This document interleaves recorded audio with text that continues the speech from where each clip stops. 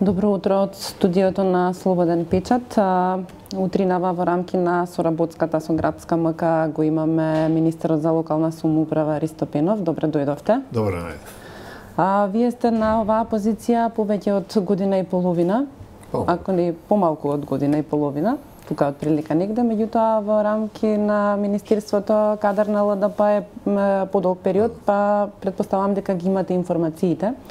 А, имавте вие извештај пред нова година кој што ја опишуваше состојбата со општините, но јас би ве прашала до каде е сега процесот на децентрализација, бидејќи тоа е еден од поважните процеси за независноста на општините да. во Добро, ние во, во, во тој процес најмногу сме сконцентрирани на подобрување на зголемување на капацитетноста на општините, бидејќи промената на процесот на децентрализација сака општ консензус. Потребни се две третини во парламентот и потребна една друг, друг, друга атмосфера во општеството. Ние живееме во време на изразен национализам и популизам, каде отварањето на овие теми пред, предизвикува уште поголеми поделби во, во обштеството, а не можеме да го постигнеме конечниот ефект 80 пратеник. Ние се подготвуваме за создавањето на тие услови, но за жал во, во овие во ова време ги нема. Ги нема и од другиот аспект од финансиските капацитети на државата, заради кризните состојби, нели, корона кризата, енергетската криза, кризата со инфлацијата, која што владата со додатни средства требаше да покриви. И од тој аспект, нашиот фокус е во тие рамки на онаа постигната децентрализација, која е сепак една, една заокружена состојба, да општините успеат да ги испорачат услугите на, на граѓаните. Во тој дел постигнуваме значителни резултати, особено во периодов јас кога сум во јагнето на финансискиот капацитет, заради тоа што главната алатка која што општините ја имаат за да прибираат средства, за да се финансираат, е данокот на имот, кој долг период од воспоставувањето на системот на децентрализација кај нас во 2005-та не, не е применуван, не, не се ангажираат општините да прибираат средства и сега заедно со UNDP имаме извонредни резултати, особено би во Кавадарци, во Карпош, во, во Штип, каде што е зголемено, во Арачино, каде што е нула имало, сега веќе за, започнува да се, да се применува. А, ги спомнавте општините, тие колку се подготвени? Значи, рековме има напредок во наплатата на данок на имот. Што е со останатите, затоа што и бројките кога ги добиваме, во принцип има поуспешни општини, има помалку успешни општини. Добро, тоа е... Дури и некои скопски општини се недоволно успешни во однос да. на некои финансиски да, придобивки да, што да, ги има. Да, да, да па ген... Зборувам во смисла, извинете, ве прекинувам, дали имаат, дали нивните кадри, значи општинските кадри, дали има доволно кадри или има превработеност? Па сега има и превработеност, а има и недостиг на, на, на вистински кадар.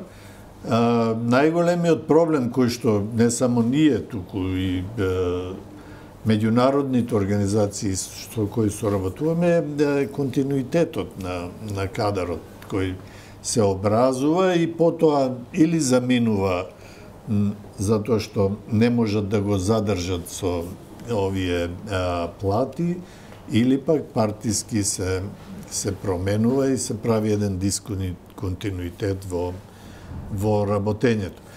Имаме и во, воочено и друг тип слабости. Например, има општини кои не вработуваат градежен инспектор. А дивоградбите секој ден никнуваат. И сега тука може човек да забележи една намера да за да можат тие дивоградби, практично индиректно да бидат поддржани од општинското раководство, не се ангажира градежен инспектор и нема кој да постапува да ги спречува. Инако, еве, кој говориме и за децентрализацијата, урбанизмот е речиси целосно децентрализиран и, е, и можам да речам целосна имплементација имаме на тој процес. Тој е дигитализиран, комплетно општините ги вршат тие услуги, но паралелно со тоа расте бројот на дивоградбите. Да, тука што имам говори слушната... дека не не си ја исполнуваат функцијата општините. Имам слушното дека всушност расте бројот на дивоградбите, пошто тоа е еден од начините на собирање финансиски средства, нели, од уплаќањето на сите тие комунали. Потоа со, со легализацијата, но, но видите, тоа тоа носи друг тип проблеми кои потоа општината треба да ги решава. Никнува објект без соодветна инфраструктура, без а, а, решени проблемите на граѓаните, нај, најчесто во однос на паркирање. Потоа, потоа се потребни додатни средства за тоа да се да се решава. Државата останува од, односно локалната самоуправа останува без приход за комунали, за потоа данок за имот не може да се наплаќа. Редица проблеми се се појавуваат. А спомнавте дека имате соработка со UNDP, но имате и доста проекти кои што се спроведуваат, зборувам сега во рамки на Министерството за локална самоуправа со ИПА фондовите, со амбасадите. Да. А, има доста а, проекти, значи тековно меѓугранична соработка кои што се да, а, одработуваат. А, некогаш слушаме дека има некакви злоупотреби. Не знам кои се надлежностите не. на Министерството и кои се всушност проблемите со кои што се соочувате со... Во нашиот дел не, не може да кажеме за некои злоупотреби за сериозни. Грешки има кои оддалеку гледано личат на, на, на злоби, но сепак тоа е мал обем во однос на она што се постигнува. Нашиот главен проблем во сите овие соработки и со швајцарската амбасада, и со шведска СИДА, и со UNDP, USAID и, и особено со ИПА програм, пограничните програми со Европската Унија, кои што се пет посебни програми е недостигот на квалитетни проекти. Значи, и, и затоа тука работиме на издигнување на капацитетноста. Обштините конкурираат со неадекватни про проекти, со проекти кои не придонесува значително да се промени состојбата во општината. Обичајно конкурираат со некои а, проекти кои што се секојдневни, некоја улица да се среди или некоја невладина со не, соработка со невладина во која као јакнење на туризмот во општината, но, но бенефитот граѓаните не можат да го почувствуваат.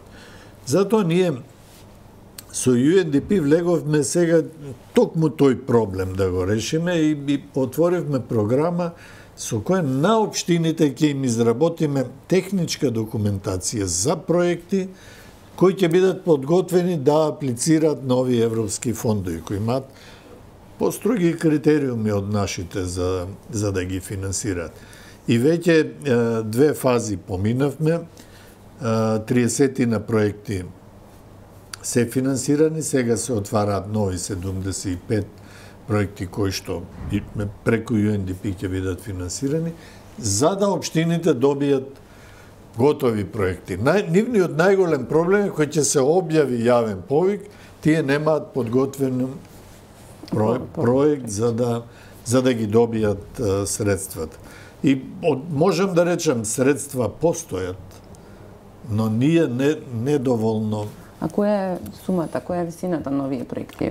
Па различни преку ИПА програмите од Европската Унија се по 500.000 евра проект по по општина што не е мала мала сума за за наши услови доколку е проектот добро изработен и добро избран. Така, дали овие проекти опфаќаат и капитални проекти, како да речеме училишта, затоа што е, пред нова година да, да. владата повторно одобри средства, бидејќи нели општините реагираат дека немаат доволно средства, иако тоа сега малку се користи во политички за политички да. поени. Средства секогаш нема, ние сме Република Северна Македонија, немаме доволен финансис, не создаваме доволно за да имаме доволно финансиски средства да изфинансираме се. И владата има недостиг во сите сектори, и во образование, и во здравство, и во животна средина. И општините имаат. И сега ние со префрлањето на топката ти си виновен, јас не, не го решаваме проблем. Ама сега кога ги добија општиниве, претежно што се Маровски, сега се фалат со Сега ќе се пофалат, а потоа пак кој ќе почне кампања ќе недоволно. Владата согледувајќи го тој проблем дека е, ниско е нивото на реализација на проекти во општините, во последниот ребаланс издвои 35 милиони евра наменети за проекти кои општините ги имаат готови. Што би рекло во 24-та да, да можат да се реализираат. Од оној аспект што вие говорите, земајќи го ризикот дека тие со тие проекти можат. Но нашата поента е, треба да се подигнува општото на задовол, задоволство на граѓаните. Без оглед дали е Вамаровска општината да. или е, е водена од, од некој друг. И ние во програмите преку Бирото за регионален развој не, не ги делиме општините Вамаровски или се, се ценат проектите и голем дел од колачот, поголемиот дел од колачот во Бирото за регионален развој отиде токму на тие општини преку програмата за диспаритети што ние преку Министерството исто така. Постојат и други програми во Министерство за транспорт локални, бидејќи Светска банка дава заеми, таа работи само со влада. Не може да финансира директно општини, преку Министерство за транспорт и врски 50 милиони евра е отворена програма за локални улици во општините. Преку Министерство за животна средина 50 милиони евра од Светска банка за решавање на водоснабдување и канализации во, во општините. И, и дури и тој процес оди бавно затоа што општините проектите ги немаат за, завршено за да ги користат тие средства. А, спомнавме нели предизборие и слично. А, вие како партија, значи зборувам либерално демократската партија, а, имаше предлог за една изборна единица. А, овој процес сите останати рекоа да се согласуваме, меѓутоа не знам дали има некаков напредок на тоа поле, може би не за овие избори, но за воиднина. Па напредок нема, иако начална согласност од сите има, таква промена се прави со консензус. Значи, изборен закон не може да се да менува некое мнозинство, туку потребен е да се постигне консензус. Тој очигледно не може да се постигне и работите, да не речем, ќе, ќе чекаат подобри, подобри ремија За овие избори е веќе доцна. Ние сметаме дека на тој начин подобро ќе се презентира секој глас даден на изборите, што е и факт. Тоа може да ја комплицира состојбата околу составување на, на влади, но сепак а, побитно е граѓанинот кој излегува на гласови да го ефектуира својот глас преку конкретен свој представник, отколку да на разрешувањето на проблемите кои тоа може да ги носи, кои се решливи. Така. А, сега наскоро ја очекуваме техничката влада. Предпоставувам 28. дека нема да биде Министерството за локална, мислам не би требало да е таргетирано, но ќе влизат нема во сигнали за сега. во владата кадри од ВМРО. А, тие веќе рекоа дека не го прифаќаат талант за нели технички премиер, очекувате ли и други блокади? Како ќе се чувствувате Па во таа техничка влада? Е, е, гледајте, Што очекувате? Тоа е, мене ми е тотално нејасно ова атмосфера што што велеше Иванов како ви каже, но, но функционира. Не, не, не е во ред, ама функционира. Не можеш ти да не гласаш за влада, замислите и уште некој да не гласа. И техничка влада да не се избере. Се доведува во прашање целиот процес на избори. Каква е таа неодговорност?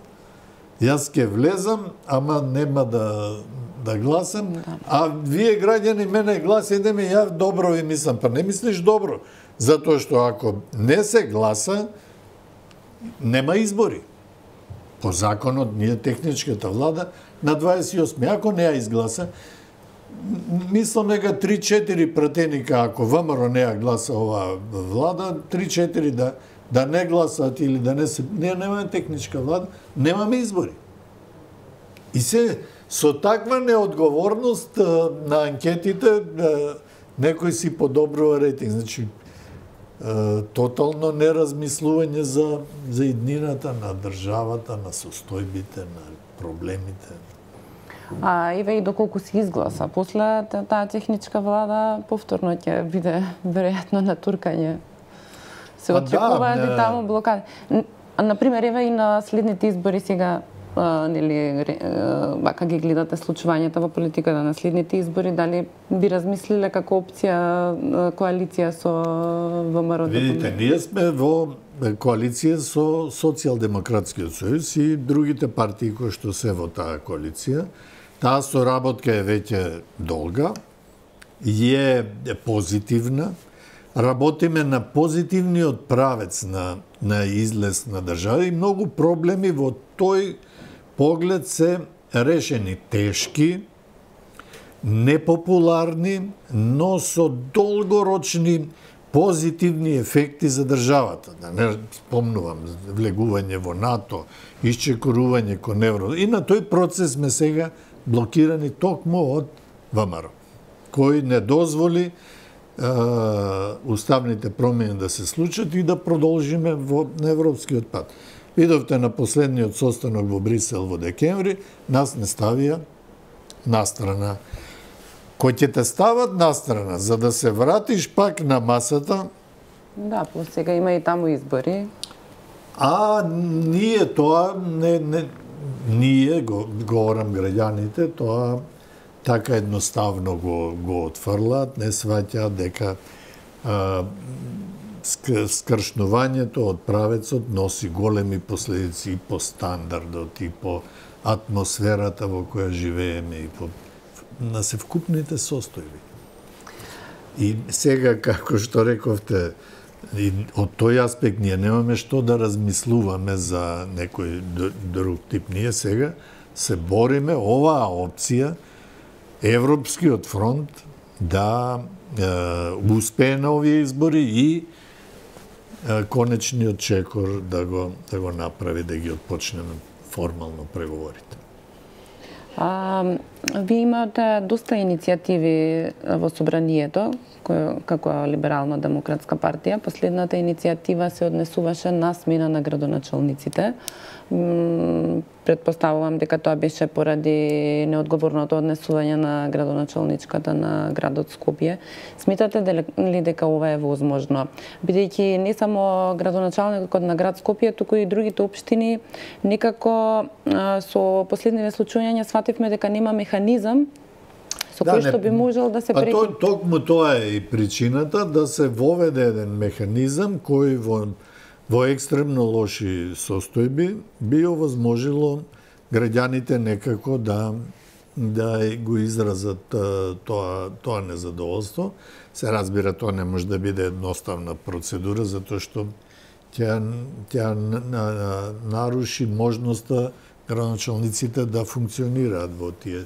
Сепак треба и да им се гарантира мандат и као што велите потикнати од обштите состојби, најмногу испровоцирани од состојбите во Скопје се се покрена таа иницијатива. Се разбира дека таа со овие законски решенија не е возможна, но идејата е а, да се отпочне процес за да се воведат такви законски можности и да се прати сигнал до општини, до општинските градоначалници за ресетирање на ова, да, да не речем, летаргија која е во, во општините, каде што многу мали ефекти можат да осетат граѓаните. Да, во последните години гледаме дека си се истерува мандатот. Да. Нема промени. Секој се оправдува на на објективно или на објективни состојби или на владата, постојат објективни околности кои се отежнувачки, ели ние живеевме и корона, преживеавме и енергетска криза, и,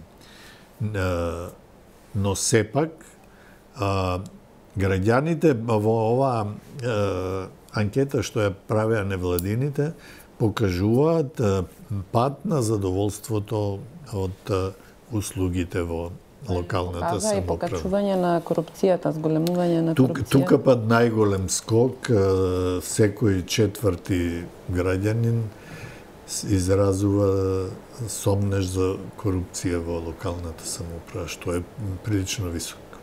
Така. Вие бевте два мандати градоначалник на Скопје.